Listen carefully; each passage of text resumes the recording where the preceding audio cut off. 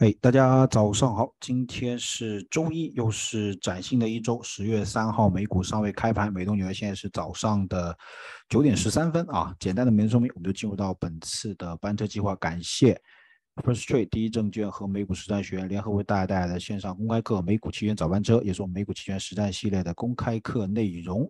如果大家选择继续观看，等同于上述的条款。那么看上周是非常刺激的一周啊。那这一周呢也不例外，对吧？我觉得这周也也不会亚于上一周啊，但可能市场会加剧的震荡，呃，去做出一个能够交易的底部啊，tradable bottom 啊。那目前我们看它是震荡为主，呃，短线来说多空都有机会。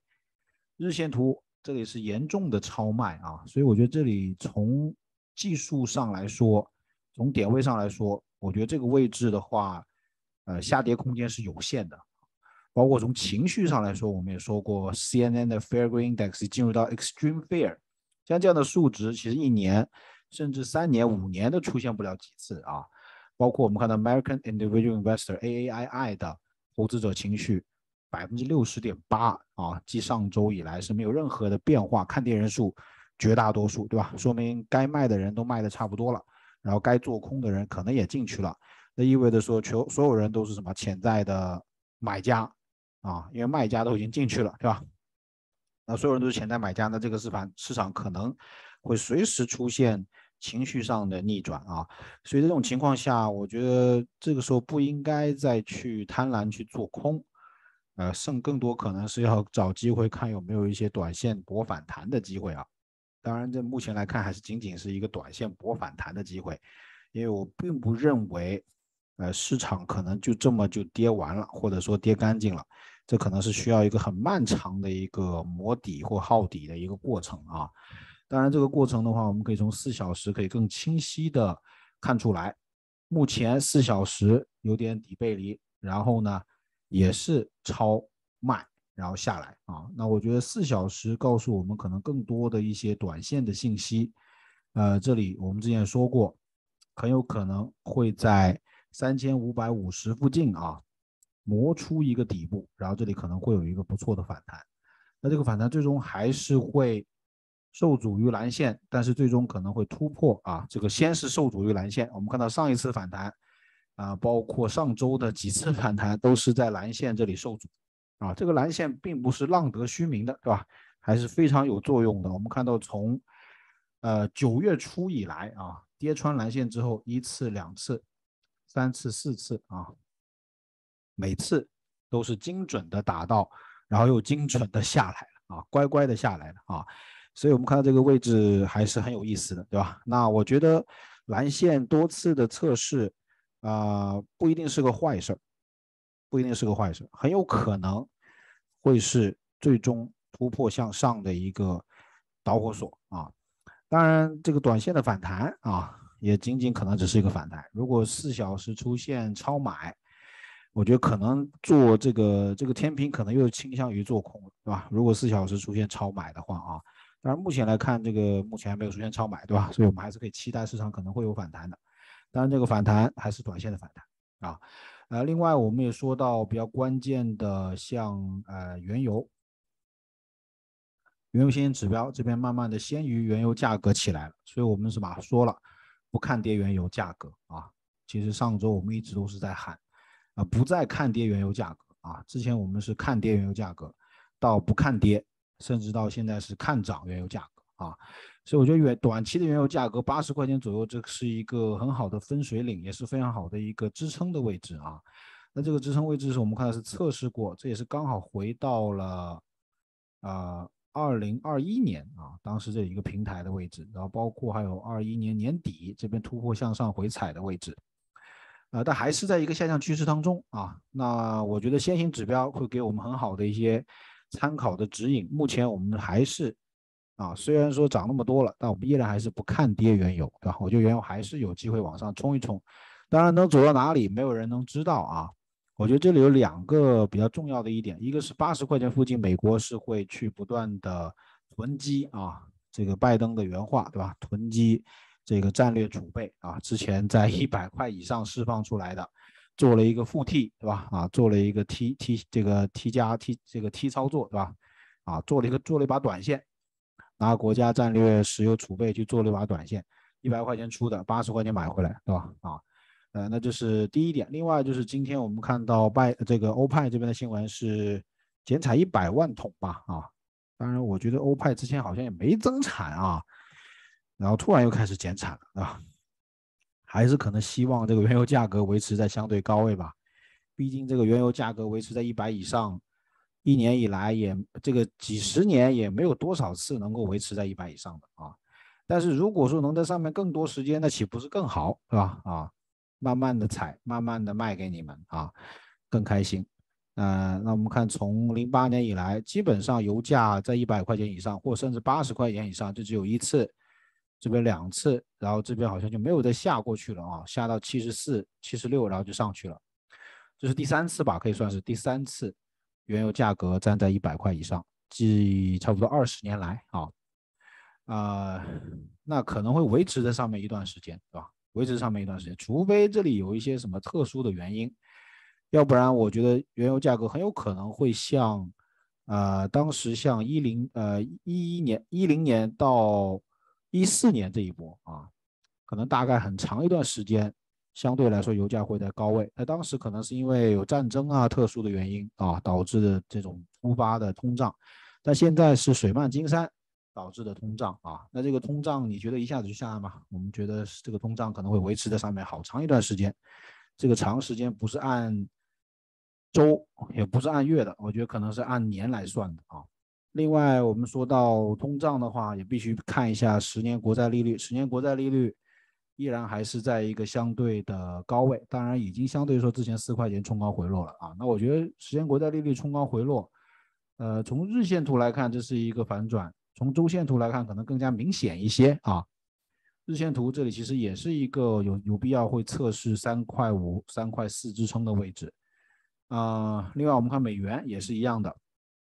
这里也是日线日线级别一个反转，然后也确认了，然后呢，周线级别这里也比较明显一个长上影线红狗反转下来，当然现在希望说能够跌到一百一十五以下啊，至少测试一下啊，目前是没有穿一百一十五，我觉得美元短线的高点出来了，包括国债利率短线高点出来了，那意味着说，呃，市场的很多资产价格品种的短线的低点出来了啊。但这只是一个短期的低点啊，并不代表说这是一个永久的低点，是吧？因为美元的趋势依然是很健康的，所以我觉得这个只是一个强反弹的一个点，是吧？强反弹的一个点，而不是说一个啊绝对的一个低点啊，只能说是相对的一个阶段性的低点。但是在这前提下，我们可以看到市场会有一定的反弹，但目前率先反弹的还是通胀类的品种啊。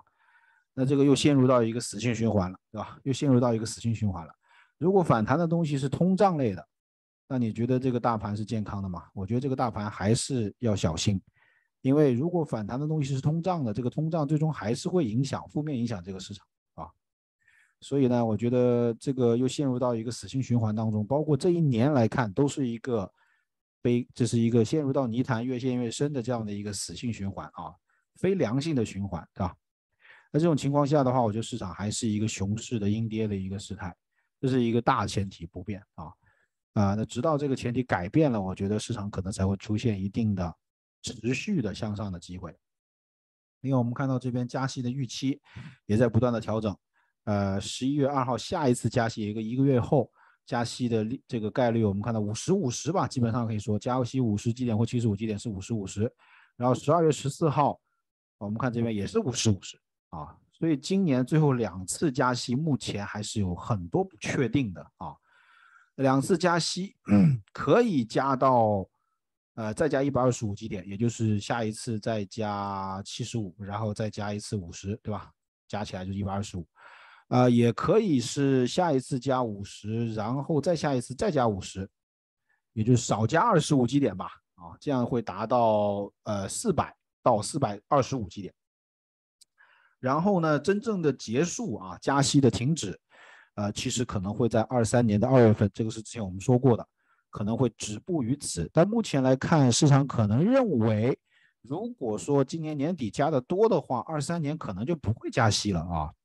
但我们看到二三年开始的利率大概率可能会维持在四百二十到四百五十，这也是跟之前可能有些许的出入，但就是二十五基点左右的出入啊。那我觉得这种轻微的一些变化对市场来说还是会比较敏感的，直到说这一个敲定啊，我觉得大底可能才会真正的出来，或持续的这种拉升才会起来，对吧？持续的反弹，持续的拉升才会起来。在这之前，可能市场更多还是偏震荡为主啊。因为我觉得没有一个确定性的话，市场是非常讨厌这种情况的啊，市场是非常不喜欢这种不确定的情况，呃，喜欢这种确定的情况，啊，那如果是任何东西是确定的啊，那我觉得大盘可能会比较喜欢，啊，尤其是有一段时间的确定，对吧？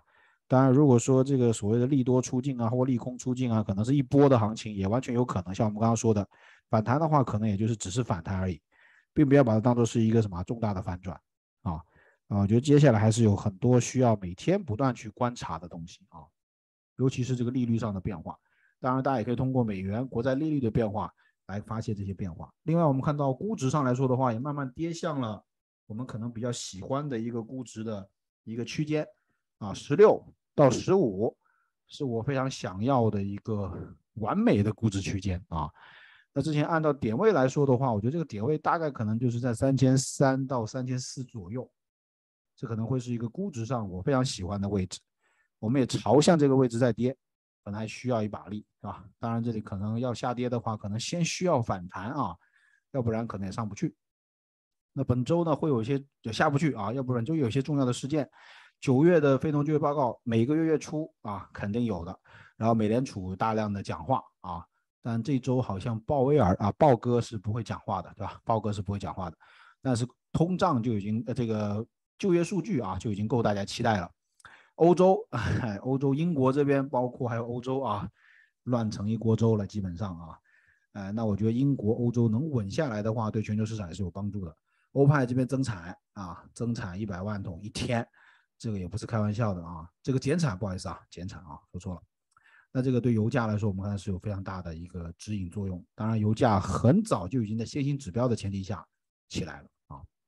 另外，我们看到，呃，财报的话，这周是没什么财报，但下周周五开始，周四周五开始有银行，呃，这周财报我是没有什么特别好看的。这周我觉得都是一些偏传统，然后零售相关的，呃，都是受这个通胀影响，展望是偏负面，啊，我们就不做多多，呃，就不做过多的讲解了啊，呃，然后周一今天有大量的汽车报告。看到比亚迪的数据非常的惊人，大家也可以看到新闻头条，九月份比亚迪卖了二十一万台车吧？啊，这个太夸张了。这个数据出来之后，我们看到同比去年好像是三百个 percent 三倍的增长吧？啊，同比上个月好像也是几十个 percent 还是还是两倍还是一倍的增长，我不太记不太清了。反正这个数据非常的夸张，非常非常的夸张啊。那基本上可以这么说，在大街上十辆车里面可能。啊，超过五辆都是比亚迪，啊，可以这么说吧。然后呢，嗯，就新车啊，新车。然后我们看到二零二一年还是二二年，这个在这个车的这个销售排行榜上面来说，呃，全球的数据我不知道，对吧？那中国的数据我们看到里面五款当中前五款就有四款是比亚迪的啊。那这个数据影响会怎么样呢？这些数据影响就是直接对特斯拉、对理想、对小鹏。未来这些影响会比较大一些啊，当然对其他的非大陆市场呢，可能会稍微影响没那么大啊。那上周我们也讲到特斯拉，特斯拉这个事件我们也点评了 AI Day 的这个事件，这个机器人 Optimal Point 擎天，这个叫什么擎天柱吧，对吧？这个机器人啊，那我个人是觉得这个烧钱的项目不太看好，两万块钱的成本，那你要卖给谁，对吧？只能 to B 了啊。那 to B 也没有说一些具体的细节出来，那我觉得短期来看，这还是一个烧钱的货，对吧？呃，那继续重归像这个之前特斯拉开始的时候那样子。当然，特斯拉轿车是可以量产起来，很快见到成效，但是这个机器人，这个我觉得短期三五年内还看不到任何东西啊。虽然说是个很新颖的炒作的概念，呃，但股价估值我觉得特斯拉是不便宜了，啊？而且在主力位置啊。那今天这个。交车数据一出来，特斯拉又往下跌啊，特斯拉是大幅的第三季度交车数据不及预期。那我觉得这个特斯拉最近的降价啊，持续的降价就已经是表现出这一点了啊，销售数据是跟不上的啊，这个竞争实在是太激烈了，在中国啊，在中国可能有二三十个不同的这种电动车牌子吧，真的是非常的夸张啊，而且。一个比一个好啊！当然，最大的可能还是股神选的比亚迪，对吧？很早的时候，零八年的时候，股神就看上了啊，真的是厉害啊！然后现在股神开始出货了，对吧？开始慢慢的出货了啊！呃，那我觉得特斯拉这边够呛，对吧？真的是够呛，包括理想、蔚来、小鹏，这都是够呛的啊！因为他们的价格是定位是偏高的，那这个量可能跟不上去，对业绩会有很大的影响啊！呃，这是我想点评的。然后呢，周二的话可能没有什么特别的。欧派这里有个欧派加的会议，但这个结论基本上已经出来了，调子已经定了。然后还有七点半 Hasbro 的财报，一点钟有 TTD Tradex 大家比较喜欢的一只股票 Investor Day Event。周三的话，Costco Post Market 有一个 Sales Report，September Sales Report 估计也不太好看啊。周四，谷歌有一个 Pixel Hardware Event，啊，可能会有新的 Pixel Seven、Pixel Pro、Pixel Watch 这些一些。硬件啊发布出来，还有 Pixel Tablet，啊，那这个基本上就是苹果玩剩下来的东西，对吧？那我觉得苹果也玩不动了，它也可能玩不动啊。FDA 好像全天有一个事件关于 vaccine 相关的啊，嗯，然后我们看到周四大概就这么多，然后还有一些财报，Investor Day Analyst Event，但这个像这种呃这种游游游轮股，对吧？基本上也是不好看啊。周五 Box 有一个事件可以关注一下。然后周五的盘前八点半，非农就业报告，这个我们看九月份的数字是两呃二十五万的就业，那预期这个我觉得是偏低的啊。夏天我觉得数字都不止这个数字，对吧？如果数字是二三十万的数字的话，我觉得一般来说会超啊。我们看看七月份我们预测对了，八月份也预测对了，我看九月份会不会也是一样，对吧？如果是超预期的话啊，我觉得市场会认为美联储有更多的资格去加息啊，这么一说，对吧？我们今天大商品、大宗商品品种里面看，通胀类的全部都起来了啊！这个通胀类全部起来了，那这个市场我觉得很快可能又陷入到一个死循循环啊！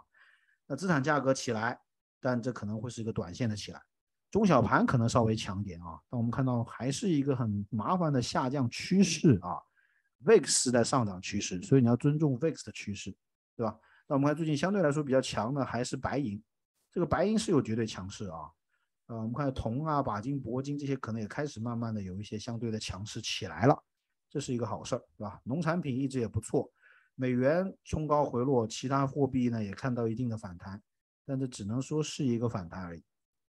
尤其像英镑这种啊，可能低点出来了，但这可能还需要耗很长时间，对吧？Switch Fund 最近可能看上去稍微好一点啊，大概可能就这么回事儿了。那本周我们看除了财报以外，呃，还有一些呃，auto sales 刚刚已经大概基本上数据我也点评过了。，US Job Report Corporate Event 这边大家可以暂停这个视频去看。Healthcare 这都有不少股票。呃，Metaverse 啊，Meta Beat 这个二零二二年的 event，这个应该又是跟那个是什么东西来的啊？元宇宙啊？呃，是什么东西我也不太清楚，这个大家可以看一看，对吧？好像很多传统的股票也会在这里面啊。然后 Byron 这周讲到一只股票是 OXPX，这个是一个成长性非常强的做呃头发产品的一个股票啊，大家感兴趣的话可以看一下。这股票今天早上是高开了，对吧？好像是高开了。这股票好像是特殊的这种产品吧，在这种市场情况下，目前好像表现还不错啊，大家可以关注一下。那这是这周我想讲的内容，看大家的问题吧。大家问说苹果的建议价。苹果建议还是一百二十块钱这里等它啊，一百二十块钱等它，这是头肩顶的一个目标啊。呃，那之前我们看到是离一百二十非常的近啊，已经进入到一百三十以下了，但没有达到，没有达到，非常可惜啊。Twitter 我觉得之前跌下来是非常好的一个位置，不可能亏损吧？Twitter 怎么会亏损呢？之前这里如果你是五十块钱这里追的，那基本上是活该了啊。四十块钱以上追的，我觉得也不太好。但之前我们看到跌到四十块钱以下，我们是建议买的，对吧？呃，那这一波我觉得无论法院怎么裁断啊，这个 Elon Musk 肯定是不会收购 Twitter 的了，对吧？之前我们就说过，Twitter Elon Musk 玩一玩的而已啊，渣男啊，渣男本质大家没看清楚啊，不断的 受骗啊，呃，那 Twitter，Elon Musk 向来都是这样子的啊。你觉得 Elon Musk 高调收购过哪一家公司？好像真的没有啊。真正收购的公司都是小公司啊，低调收购的有很多。你说高调收购的公司，他有收购过吗？没有看到一个。包括自家的公司要私有化，之前高调多么高调啊，Twitter 上全世界都知道了，对吧？Fund secure，然后最后没有啊，也被人告了，也被 SEC 盯上了。包括 Twitter 这个事件，他也玩的非常的 settle，对吧？但是其实一切都是合法的啊。呃，那如果换了一个地方，可能他就被办了，对吧？但实际上他是首富在美国呢啊，那基本上有钱大赛，对吧？想怎么办那也没办法。但我觉得这个事件跟他没关系了啊！现在主要还是市场怎么去看，Elon Musk 可以怎么玩怎么说都可以，但最重要的是你要知道市场是怎么想。那市场可能认为 Elon Musk 无论收不收购 Twitter 都值更高的价格，至少从三十块钱这个位置来看是有更高的上行空间啊。那我觉得 Twitter 这里也是值更高价格的啊。那这边我们看到谷歌也不太行了，然后呢 Facebook 也不太行了，苹果也不太行了。这种卖大的这种广告的这种平台啊，可能都不太行了。反而我们看到 Twitter 好像是有一定的恢复，从股价上来看，当然这个更多是股价跌多了，而且或者说常年一直在相对低位，啊，也是给了一定的机会啊。呃，那我觉得这里 Twitter 是有机会去挑战一下更高的位置的。无论法院怎么裁决，我觉得不重要，对吧？我觉得不重要了啊。重要的是市场怎么想啊？呃，当然，Twitter 这边我是没有看到什么特别的异动的，所以我觉得这个位置大家也不要说因为我这么一讲，然后去追它，不要啊。我觉得纯属是看图，我觉得这里是 Twitter 是有机会挑战更高的位置，对吧？四十八、五十二这一线，呃，但如果说你有仓位的话，可以拿一拿去搏一下。那如果没有仓位的话，我觉得不要去进仓位啊，不要去进仓位啊。好，这是我想跟大家分享的。今天先讲那么多。呃，这边已经开盘了，祝大家有一个愉快的交易日，展交易日啊，崭新的一周。这边我们给大家做一个全周的汇总。想了解更多信息，可以拨打 First 的客服专线以及电子邮件 Chinese@first.com，官方微信服务号 First 香港九八五，大家可以扫码关注啊。Until next time, be good and stay powerful。明天早上同一时间同一点，我们不见不散。大家客气，拜拜。